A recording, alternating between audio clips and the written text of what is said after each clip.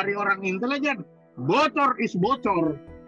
Apakah itu dia rahasia negara atau tidak, itu adalah bocor. Nggak bisa kalau dibilang ini bocor besar, bocor kecil. Nah, rata-rata memang motifnya adalah motif motif ekonomi. Dia minta duit. Tapi kalau sekarang ini hanya kelihatannya dia mempermalukan ya.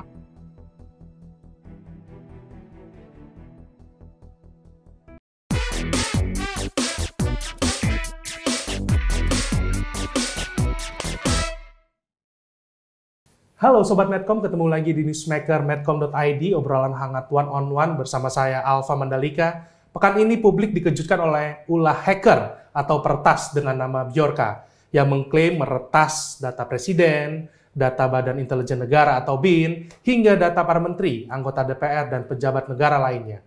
Presiden pun memerintahkan pembentukan emergency response team dan perintah presiden ini langsung dikerjakan oleh Menko Polhukam pada Rabu 14 September mengumumkan pembentukan Satgas Perlindungan Data. Lalu siapa Biorka dan benarkah aksi Biorka ini bisa membahayakan negara seperti aksi Wikileaks di era SBY? Dan apakah Satgas Perlindungan Data adalah jawaban atas ancaman peretasan rahasia negara? Bersama kita telah tersambung melalui Zoom mantan Kepala Badan Intelijen Strategis TNI, Bapak Sulman B. Ponto. Selamat sore, Pak Ponto. Selamat sore. Terima kasih Pak Ponto atas waktunya. Ya, baik, baik Pak. Presiden Jokowi setelah merespon nih Pak aksi Biorka dengan pembentukan emergency response team nih Pak. Dan sebenarnya apa nih arti respons cepat Presiden di mata Pak Ponto? Iya, ini memang damage control ya. Kalau menurut aku bilang ini damage control untuk mengkoordinasikan para ahli-ahli yang bisa melawan si Biorka ini. Ya. Tapi ini hanya damage control. Jadi ah, memang ini hanya sekedar damage control saja. Untuk karena untuk melawan ini kan tidak mudah karena di situ ada kompetensi dan capability orang per orang itu kan sangat-sangat menentukan. Hebat alat kayak apa, tapi kalau manusianya tidak punya kompetensi, ya nol juga. Kan itu. Ya. Oke, okay. Baik, uh, Pak Ponto, Presiden juga langsung menjalan, uh, memerintahkan Menko Polhukam dengan membentuk uh, Emergency Response Team atau Satgas Perlindungan Data nih Pak yang baru saja diumumkan oleh Menko Polhukam pada hari Rabu 14 September. Nah, seperti apa nih Pak memandang Satgas ini Pak? Apakah ini adalah jawaban tepat atas uh, ancaman para hacker? Atau seperti apa Pak Ponto? Ini hanya anu saja, hanya sesaat saja, tidak bisa untuk selanjutnya. Dan saya juga tidak tahu bagaimana jawaban mereka terhadap uh, melawan hacker ini, bagaimana aksinya mereka bisa enggak? Artinya Pak Ponto uh, sedikit pesimis gitu Pak ya dengan uh, dibentuknya tim ini Pak ya? Betul, pesimis. Karena apa yang terjadi sekarang itu kan ak bukan akibat sekarang, tapi itu kan akibat beberapa tahun lalu dalam kita menyiapkan kekuatan untuk melawan para hacker ini kan. Artinya tidak tidak tidak hanya karena baru beberapa minggu terakhir ini hacker iya, menyerang tidak. ya. Bukan hanya karena beberapa minggu terakhir ini. Tadi hacker itu bilang bagaimana yang namanya cyber yang itu kompetensinya adalah ahli. Dari situ aja kita sudah sudah lihat kita selalu menganggap bahwa ah pemimpin itu bisa siapa aja Ya. Nah, yang penting anak buah. Ah, nggak bisa di dalam hal-hal yang kompeten seperti ini. Pemimpinnya itu harus betul-betul mempunyai kompetensi di bidangnya. Kalau tidak, ya ini akibatnya. Okay. Penggabungan kita mulai salah ketika penggabungan BSSN itu. Sandi negara digabungkan dengan Badan Sandi. Nah, ini itu sudah awal dari kerusakan itu sebenarnya itu itu. Oke, artinya Pak yang uh, Satgas ini menurut Pak Ponto kurang tepat ya Pak karena uh, tidak melibatkan ahli-ahli atau seperti apa Pak Ponto? Ya kalau hanya yang dimunculkan itu titik baratnya kita ambil uh, yang diambil kan itu organisasi, nggak dilihat ahlinya.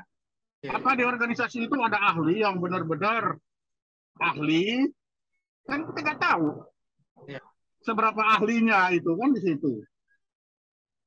Karena ini kita sudah bermain keahlian, sudah bermain profesionalisme. Kan itu. Profesionalisme sudah tidak bisa. Kalau hanya berbicara main kapal lokam, tim, tim itu kan organisasi. Ya nggak tahu lagi kalau Menko Polhukam bisa memimpin organisasi di dalamnya akan ada para ekspor di dalam nggak tahu lagi saya itu. Oke Pak, sekarang muncul lagi Satgas. Nah ini artinya apa Pak? Apakah lembaga yang ada kurang atau seperti apa Pak Ponto? Ya kalau mau dilihat dari kelembagaan, memang itulah lembaga-lembaga yang ditugaskan untuk itu. Tetapi kalau kita melihat kompetensi, apakah di dalam lembaga-lembaga itu mereka sudah berkompetensi? Itu yang kita tidak tahu. Misalkan contohnya BSSN. Apa iya BSSN ada kompetensinya dia di situ? Nah itu kan kalau bisa BIN, kalau ada kompetensinya dia lebih apa-apa. Masalahnya kita kita tidak tahu isinya di dalam itu ada enggak orang-orang yang betul-betul berkompetensi. Jangan sampai kalau di dalam organisasi itu hanya untuk mengisi jabatan strukturalnya saja. Iya kan? Tapi tidak menyentuh kontekstualnya seperti itu ya Pak. Yes. Tidak menyentuh kompetensinya. Ini kita bermain betul-betul 100% itu melawan kompetensi, melawan kapabilitas tidak melawan, tidak bisa dilawan dengan pejabat yang ada di dalam struktur. Tidak bisa. Oke. Kan nggak bisa itu. Tetapi yang betul-betul orang-orang yang punya kompetensi. Ya. Itu. Oke, Pak Ponto dalam konferensi juga disebutkan uh, pembentukan Satgas hari ini adalah Menko Polhukam juga mengatakan Biorka sudah diketahui nih sosoknya oleh BIN dan Polri. Lalu apakah uh, Pak Ponto bisa melihat apakah Biorka ini hacker dalam negeri karena mengingat sekali uh, mengingat uh, paham sekali dengan isu-isu nasional Pak Ponto? Bisa saja dia adalah hacker di dalam negeri itu bisa aja. Sangat mungkin. Karena kalau melihat dia sangat menguasai, sangat tahu dengan situasi kita. Tapi bisa aja itu. Karena kita sendiri tidak tertib masih kan itu. Oke, Pak nah berdasarkan statement dari Pak Menko Polhukam, Pak, eh, motif Biorka adalah terkait soal politik dan kepentingan ekonomi pribadi nih, Pak. Nah, sebagai mantan Kabais TNI, Pak Ponto, nah kira-kira apa saja sih, Pak, motif uh, seorang melakukan serangan digital? Oh, macam-macam. Dia bisa ada kepentingan ekonomi di sana, bisa ada kepentingan politik di sana, macam-macam. Kalau kalau berbicara apa ya berbicara motif ya. Nah rata-rata memang motifnya adalah motif motif ekonomi. Dia minta duit. Oh, oke okay. nah, ya, kan? minta duit ya. Biasanya. Tapi kalau sekarang ini hanya kelihatannya dia mempermalukan ya. Tidak minta uang kan? Iya sih sejauh ini ya.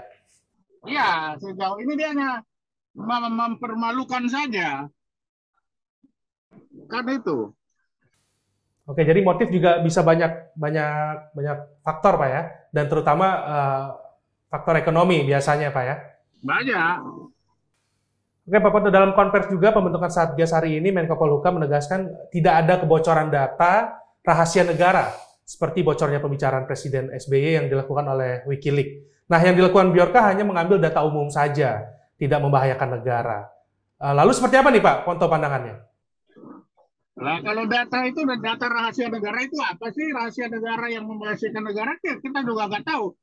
Klasifikasi rahasia menurut Menko Polhukam kan kita nggak tahu juga. Lalu kalau dibilang misalkan ya. yang diambil itu nik, yang diambil nomor kartu keluarga, itu membahayakan negara atau enggak? Kalau menurut aku bayangkan kalau kalau dik diambil, nomor kartu keluarga diambil, lalu dia bikin berapa banyak manusia lagi dia bikin baru kan? Ya. Nama nama saya bisa ada 10, 100 dia bikin dengan jumlah yang sama kalau dia udah tahu semua itu. Apakah itu membahayakan negara apa enggak? Kalau nanti misalkan di dalam uh, apa pilkada, nama orang itu satu orang bisa sepuluh sepuluh nama, dua puluh, dua ratus. Karena nicknya udah dipegang, gimana coba? Itu kan bocor semua, kan ada semua itu. Itu membahayakan negara enggak kira-kira? Makanya saya enggak tahu yang dimaksud Pak Mahfud itu rahasia negara itu yang mana. Tapi kalau kami dari orang intelijen, bocor is bocor. Apakah itu dia rahasia negara atau tidak, itu adalah bocor. Tinggal isinya se apa namanya semudah-mudahnya isinya nik katakanlah nik kartu keluarga nama ibu, nama itu kan kelihatannya hanya apalah artinya nama itu. Tetapi itu bisa menggoncang negara, bisa mengacaukan pilkada, kan bisa. Kalau itu dianggap remeh, kan seremeh-remehnya data itu tetap aja bisa menggoncangkan negara. Jadi bocor is bocor. Nggak bisa yang lagi bilang ini bocor besar, bocor kecil. Bagi negara bocor is bocor kalau bagi saya dari intelijen kan gitu. Nggak tahu kalau Menko Polhukam. Oke. Baik Pak Monto. Pak Mahfud juga menyatakan bahwa Biorka sebetulnya tidak punya keahlian uh, hacking nih, tapi akhirnya dibentuk Satgas. Nah, seperti apa nih Pak pandangannya Pak Ponto? Saya juga nggak tahu maksudnya Pak Mahfud tidak punya kemampuan hacking, tapi buktinya dia dapat data semua kok. Ya. Saya nggak ngerti apa ini yang tidak punya kemampuan hacking. Tapi yang buktinya banyak data yang dia ketemu kan ya. banyak data yang seharusnya data itu tertutup rapat tetapi bisa dia temukan apakah itu hacking atau enggak ya bukan urusan bagi saya terserahlah bagi beliau tapi yang jelas data yang seharusnya tertutup itu sekarang terang benderang di tangan yang namanya Biorka kan gitu baik Pak ada informasi juga dari Pak Muhaimin Iskandar eh, yang menjadi korban Biorka, WA Pak Muhaimin atau WhatsApp Pak Muhaimin bocor. Nah, Pak, Pak, Pak Muhaimin pun menyatakan Indonesia dalam kondisi perang melawan hacker. Nah, seperti apa sih Pak sebenarnya situasi sebenarnya nih Pak? Apakah saat ini sudah masuk uh, kategori perang atau seperti apa Pak Ponto? Ya kalau sampai data Pak Muhaimin aja sudah bocor ya ya memang begitu. Berarti kita gawat darurat terhadap hacker. Itu yang dia umumkan, yang dia tidak umumkan. Lalu kalau dia dapat PIN kita di bank, ah, habis duit tiba-tiba hilang. Nah, iya kan? Apa itu rahasia negara? Gimana coba? Jadi lagi-lagi kalau intelijen melihat bocor is bocor. Mau rahasia negara atau bukan, itu bukan urusan.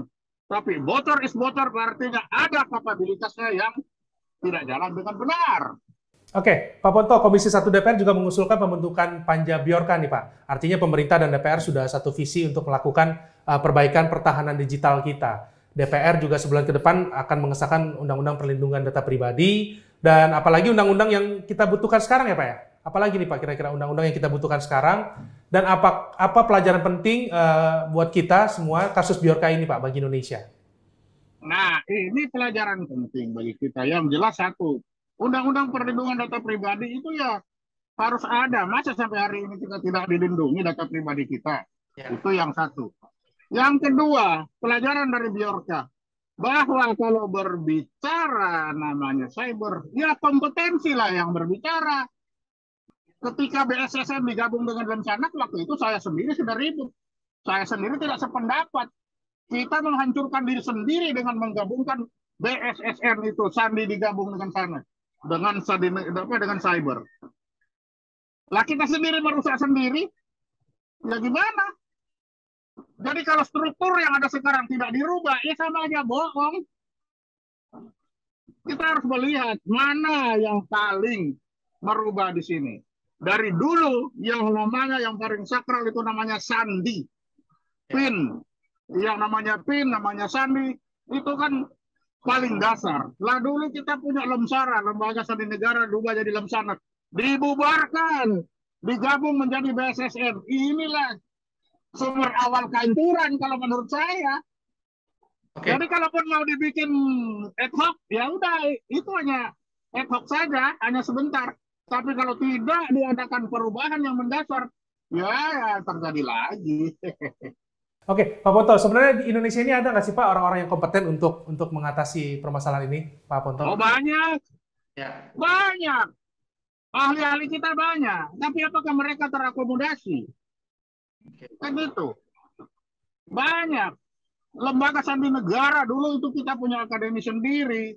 Namanya kepala sandi itu tidak pernah orang yang bukan lulusan dari lembaga sandi. Tapi sekarang kan tidak, dirusak sendiri sama kita. Padahal namanya sandi itu adalah pengamanan yang paling dasar. Kan itu, PIN itu. Ya. ya tapi kita rusak sendiri, ya udah, ya ini jadinya. Oke, Pak Ponto, untuk closing statement, Pak, apa nih pelajaran penting yang harus kita pelajari dari kasus Biorka bagi Indonesia, Pak Ponto? Silakan. Ya, pelajaran penting bahwa kalau kita berbicara persandian, kita berbicara cyber, ya serahkanlah kepada orang-orang yang berkompeten, serahkanlah kepada orang-orang yang memang berkemampuan di situ. Itu kan disampaikan Biorka. Jangan sampai organisasi yang punya kompetensi itu ya dipimpin oleh seperti disampaikan oleh Biorka. Lah kan begitu. Ini pelajaran ya bahwa kompetensi itu nomor satu, khususnya di dalam kita berhadapan dengan komputer dan jaringan alias cyber. Kan itu. Oke, terima kasih mantan Kepala Badan Intelijen Strategis TNI, Bapak Sulaiman Ponto. Terima kasih Pak Ponto atas waktunya. Ya. Untuk diskusi sore ini di, di Newsmaker pekan ini, terima kasih Pak Ponto. Ya, demikianlah Newsmaker pekan ini. Kita akan berjumpa pekan depan dengan topik dan narasumber menarik lainnya. Saya Alfa Mandalika pamit. Sampai jumpa.